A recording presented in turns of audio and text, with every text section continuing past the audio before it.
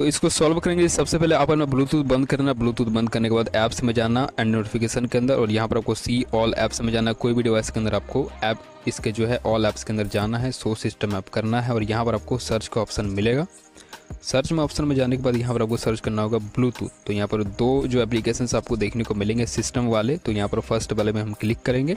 और इसके अंदर क्लिक करने के बाद यहाँ पर आपको इसके ऐप इन्फो के अंदर पूरा जो मतलब जो पूरा इन्फॉर्मेशन वो आपको देखने को मिलेगा। तो यहाँ पर आपको स्टोरेज एंड कैश में जाना और यहाँ पर आपको क्लियर कैश और क्लियर डेटा कर देना। तो फाइनली हमारा काम हो चुका है। तो ये वाला काम हो चुका है। सेकंड वाला जो एप्लीकेशन उसको भी आपको सर्च करना होगा यहाँ पर। तो ये हट चुका है। दोबारा हम यहाँ पर सर्च कर लेते हैं।